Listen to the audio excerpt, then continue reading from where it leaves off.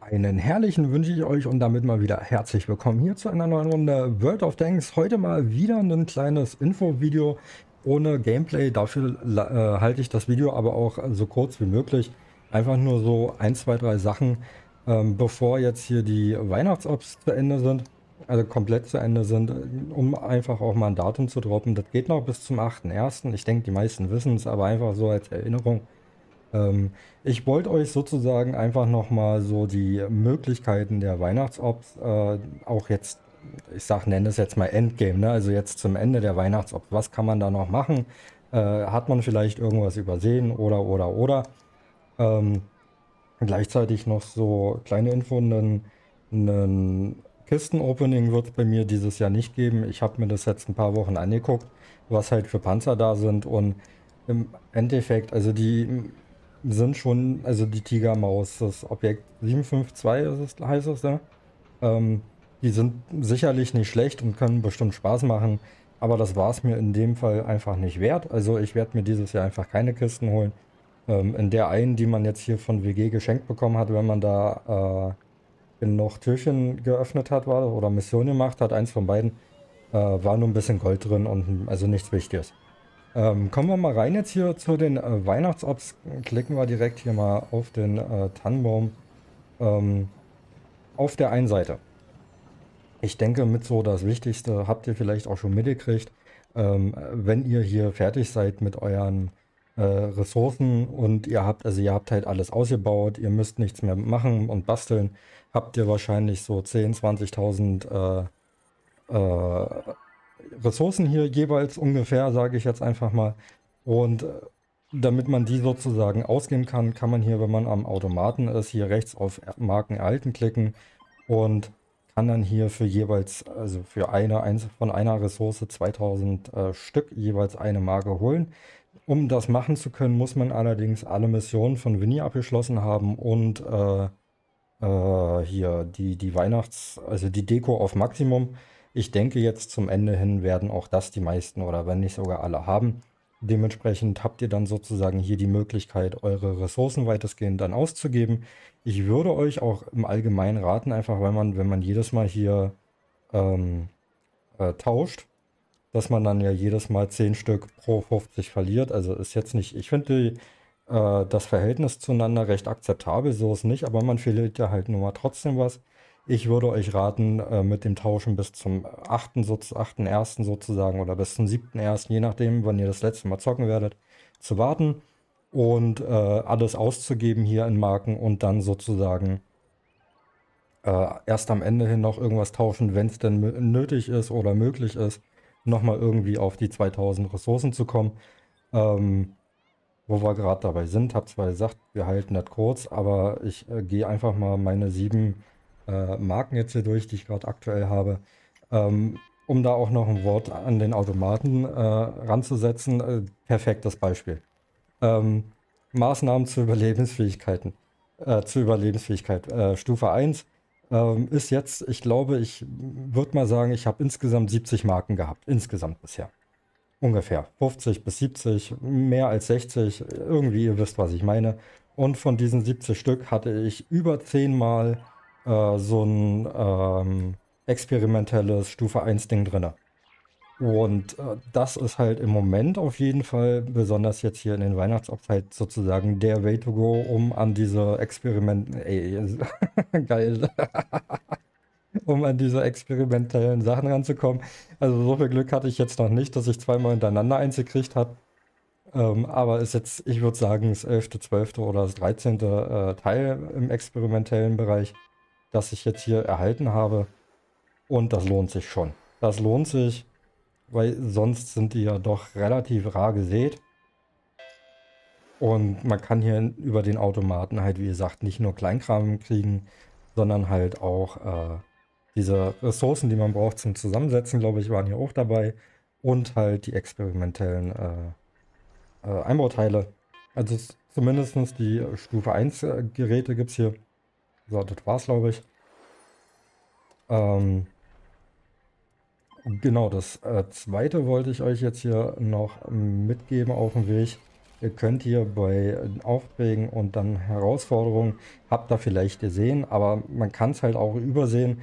Man kann sich hier Rabatte für äh, Stufe 2 bis 10 Panzer halt holen.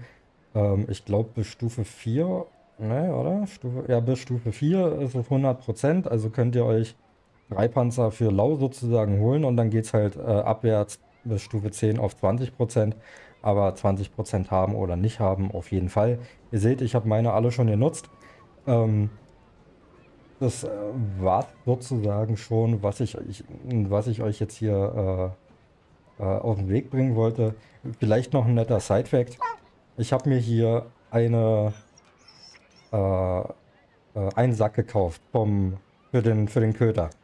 Ähm, den zweiten nicht, weil er hatte nicht genug Geld ich hätte, oder Gold, ich hätte es gemacht. Ähm, in dem ersten Sack, den man kaufen, äh, nee, in dem zweiten Sack, den man kaufen kann für Gold. Also ich habe mir zwei Säcke gekauft. Der erste war für Credits, der zweite war für äh, 1500, glaube ich. Der äh, dritte, den man kaufen kann, ist dann halt hier für 3000 Gold. Und beim äh, dritten Sack, also wenn wir hier bei diesem dritten Sack, den ich jetzt sozusagen als letztes geholt habe, gab es auch die Möglichkeit, äh, Premium-Tage äh, zu erhalten, aber von, mh, hm, ich würde jetzt mal sagen, wann hat das am 1. hat es angefangen? Ähm, ich habe sechs Tage lang äh, nicht gespielt und alle anderen Tage bis jetzt sozusagen, wir haben jetzt den vierten, glaube ich, ähm, also habe ich sozusagen 27 Tage lang jeden Tag drei Säcke abgeholt und ich hatte genau einen einzigen Premium-Tag bisher dabei. Ähm, und ansonsten, ich würde sagen, bestimmt 40 Mal, äh, gefühlt 40 Mal hier Dekor braver Hund oder braver Junge und Schriftzug äh, äh, Clef Clef oder wie, wie er hieß. Auf jeden Fall Sachen, die man nicht braucht, die man nicht verkaufen kann. Ähm, und womit, also ich habe zum Beispiel nichts mit irgendwie Schriftzügen auf meinem Panzer. Ich glaube, ich habe ein oder zwei Panzer, wo ich das mal gemacht habe, um halt ne, zu gucken, wie es aussieht und so. Ähm, aber ist nichts für mich. Äh, dementsprechend sozusagen die Säcke aus meiner Sicht zumindest, ich habe es mir geholt für die Premium-Tage, hat sich aus der Sicht in keinster Weise gelohnt. Und ähm, einfach noch, um das Video jetzt hier ein ganz klein wenig, wenig, zu strecken, um da auf die 10 Minuten zu kommen, ihr kennt das ja, gehen wir mal nach hier ganz kurz in die, äh, in die äh, Tarnfelder oder hier in dieses, wo man halt seine Tarnung einstellt.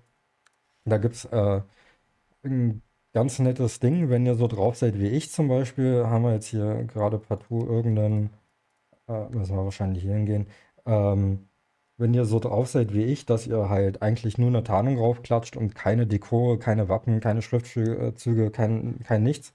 Ähm, ihr seht, ich habe hier relativ viel äh, Schmutz dabei, also Sachen, die ich halt einfach nicht benutze. Und ich weiß, es ist extrem müßig, aber ich habe es jetzt in meinen zehn Jahren, die ich WoT spiele, vielleicht, ich glaube, dreimal gemacht. Äh, ich komme gleich darauf, auf äh, was ich hinaus will. Ähm, und zwar bin ich hier, ne, bitte nicht, äh, bin ich hier die ganzen äh, Dinge halt durchgegangen. Also ich habe natürlich nicht alles einzeln angeklickt. Ähm, aber es gibt doch hier hin und wieder dann äh, den einen oder anderen, hier werde ich wahrscheinlich keinen finden. Ich habe es letztens erstmal ausprobiert äh, oder aussortiert. Ähm, ihr könnt hier halt mal rumgehen und manche lassen sich halt für bis, also bis ab, ne, für ab 10.000 pro Stück verkaufen. Ich glaube, es geht hoch bis 40 oder 50.000 pro äh, Dekor oder pro Wappen oder pro, hast du nicht gesehen? Ich glaube, bei, äh, bei Flaggen ging das ganz gut. Sind die Flaggen hier gewesen?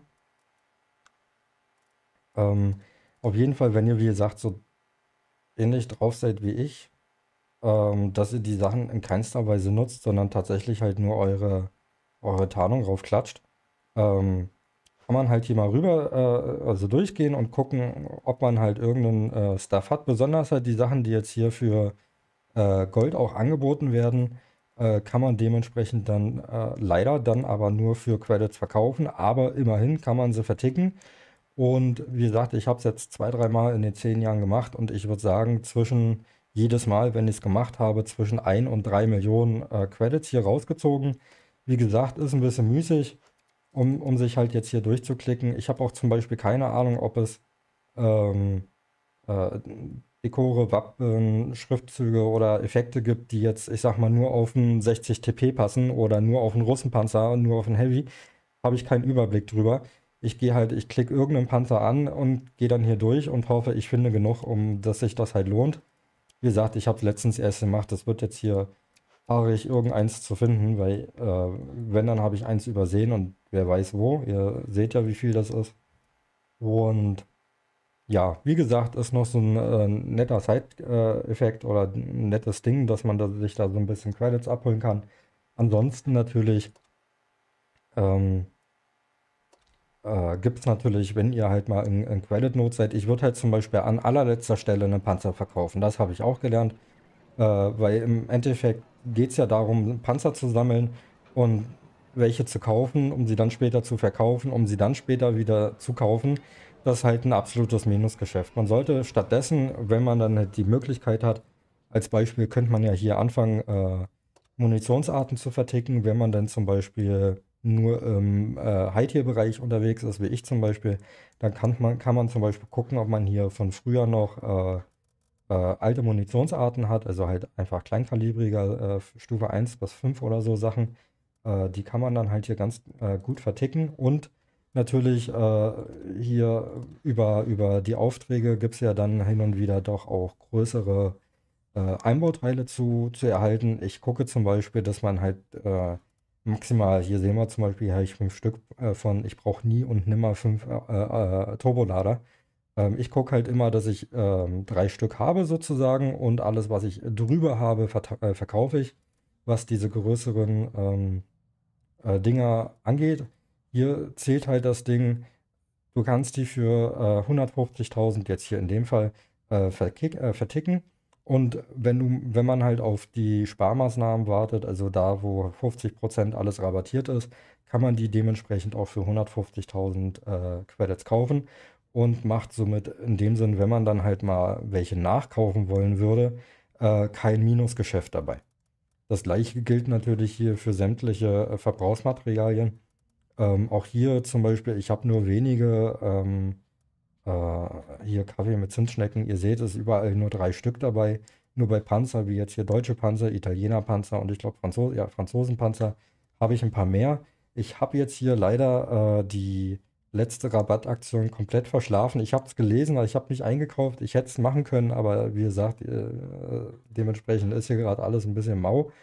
Ähm, aber auch wenn man darauf halt wieder sagt, ach, das habe ich ja schon mal gesagt, ähm, kauft halt eure Verbrauchsmaterialien, wenn ihr es könnt, hauptsächlich in den rabattierten äh, Aktionszeiten. Einfach, da könnt ihr halt so viel kaufen, wie ihr wollt. Ihr könnt die für den gleichen Preis dann später wieder verkaufen. Also man macht halt einfach kein Minusgeschäft dabei.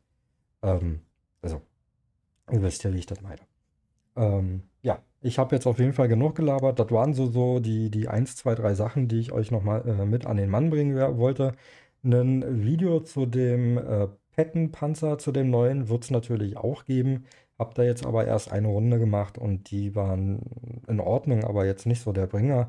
Ich glaube, ich mal gucken, ob ich es euch zeige. Ähm, auf jeden Fall, ich hoffe, ich konnte euch hier ein bisschen was weiterbringen, ein bisschen unterhalten. Wir sehen uns dann das nächste Mal. Haut rein.